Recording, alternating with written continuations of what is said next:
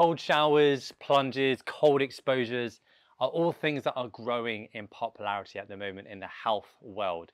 And I've learned a lot about cold exposure and the benefits that this can have to our health in the last couple of months. And I got to a point where I thought, how can I not try this? Now, just to be clear, I'm somebody that really suffers with the cold. I feel like I get cold really easily. If we go to the sea, if there's a group of 10 of us, I'll often be the first one to leave because I just get too cold. Whenever I tried to take a cold shower in the few years ago, I would struggle to get my breath under control and I was under the illusion that this is not for me. But after discovering such huge benefits to doing this, I thought I've got to give this a try. And so I did, and so I started about three weeks ago now. And so in this video, I'm gonna uh, show you my experience. I'm gonna show you some of the benefits that I've got personally, and I'm gonna go through the top six benefits that have been proven um, to get when you expose yourself to the cold on a regular basis. And I think a lot of these may surprise you, so stay tuned. Let's begin. Hello, my name is Dr. Steven Hulme, and I'm a chiropractor currently based in the Oxfordshire area and in this video I want to talk about cold exposure. The cold exposure is something that it was popularized mainly by Wim Hof who's been uh, who's an insane character and I'll actually put a link to his channel uh, in the description but he's done crazy stuff such as putting himself in ice for 80 minutes 80 without his core temperature dropping um, he's done many things that have stunned scientists, but one of the things he's, he's made more popular is exposing ourselves to the cold. So what are we doing when we, when we do that? Well, basically we're putting ourselves into a controlled temporary state of stress. When we put ourselves in that situation, in a situation where if we stay there long enough, we would die, the body starts to really kick in gear and it has to uh, try and keep you warm and try and keep you alive. So by doing this, we can actually reap some benefits because one of the things that stunts our growth as humans, I believe, is keeping ourselves comfortable. So I started this around three weeks ago.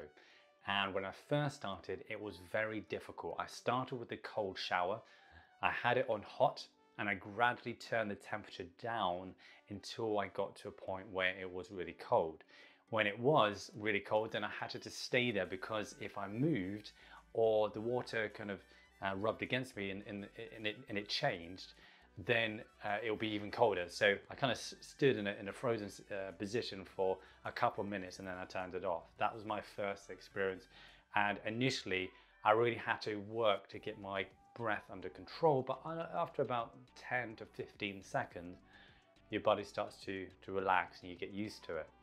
And I found that actually I was surprised how quickly I was able to get used to the shock. The shock I found hasn't decreased over the last three weeks necessarily, but mentally I'm more prepared for it. And it's now I know what to expect. And so I can take the shock really easily to now I've got to a point where I can walk straight in to the cold shower. And I still feel that shock but it's not really as much of a big deal as it was previously. So you still have that stress, but I'm able to deal with it mentally much better. And I think this is a great lesson for us for making ourselves uncomfortable because we know that if we make ourselves uncomfortable in different aspects of our life, it's usually the best way of growing.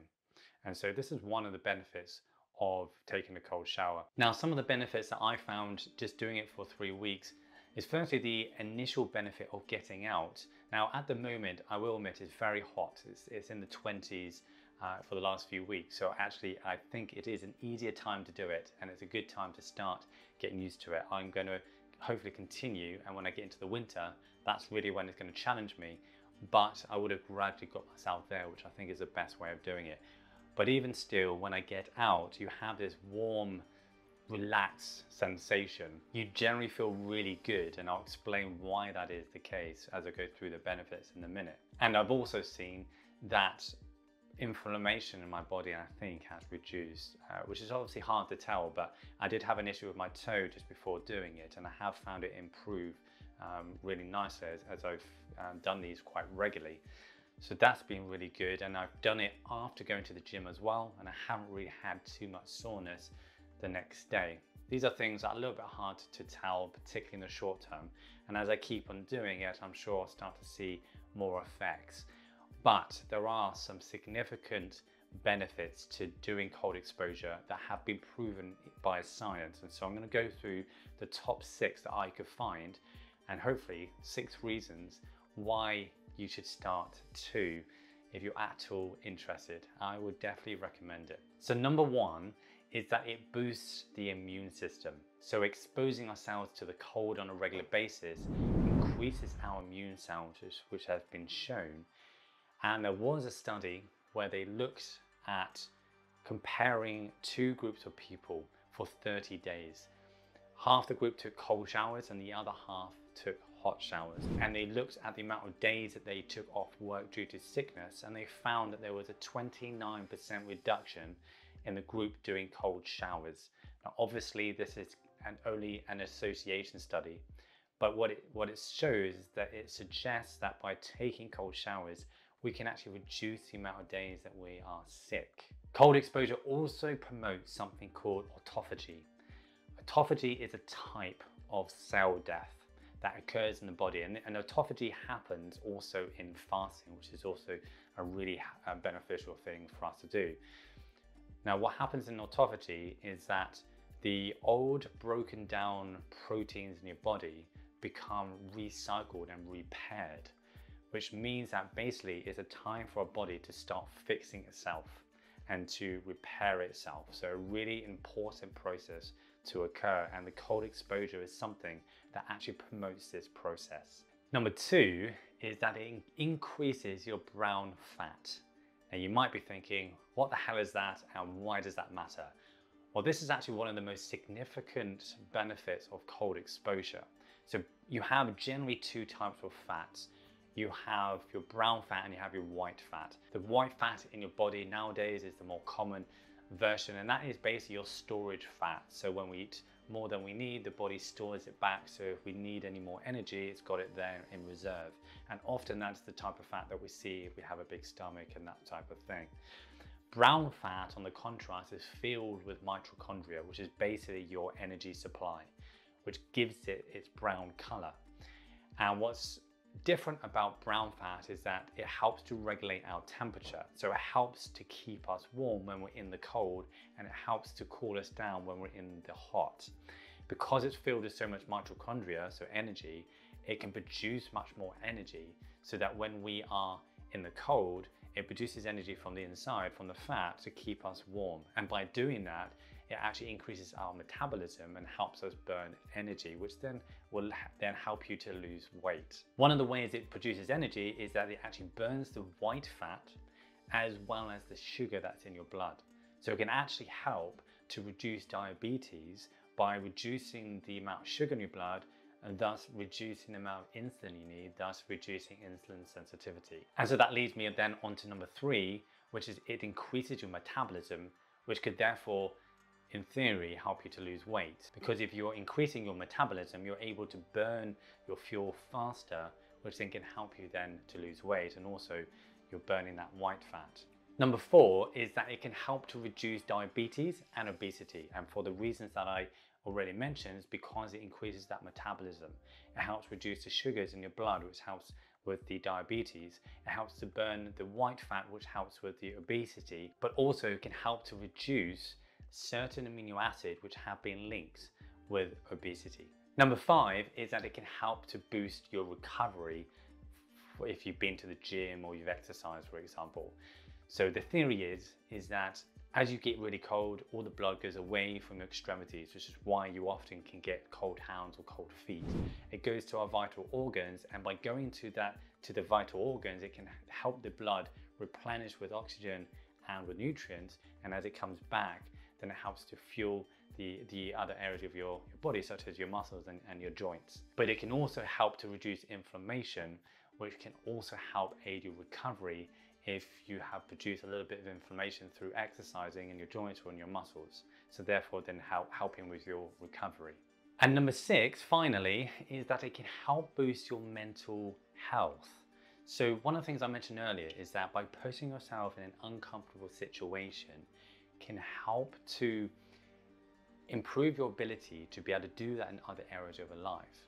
So not only do you get the, the physical benefits that I've gone through here, but it helps you to be able to put yourself in uncomfortable situations that help you to grow as a person. On top of this, it's also been shown that just 11 minutes of exposure to cold can increase your dopamine by two and a half times for a good few hours afterwards. This is why often when you get out of doing a cold plunge, you can actually feel better and you can feel really great afterwards.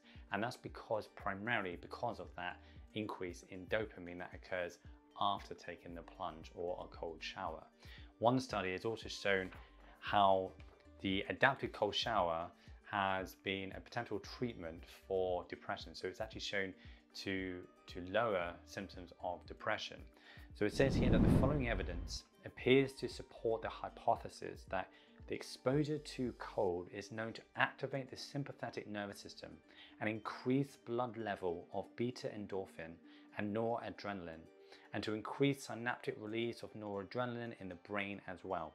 And additionally, due to the high density of cold receptors in the skin, a cold shower is expected to send an overwhelming amount of electrical impulses from the peripheral nervous system, so the nerves just outside the brain, to the brain, which could result in antidepressive effects. So it's basically saying that it, it can light up and, and stimulate that nervous system which can be really helpful for decreasing depressive symptoms. So how long therefore should you expose yourself to the cold? Well, this very much depends on you and I would always suggest build up your tolerance and do this slowly. Firstly, don't go in super cold water to start with. Go in water that you can cope with and start with just as long as you need. Might only be 30 seconds or 60 seconds. Probably no more than a few minutes on your first go.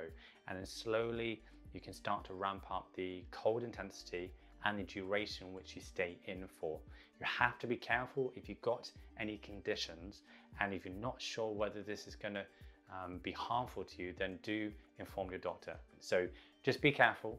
It is a stressful condition for your body. You need to be able to take it to begin with.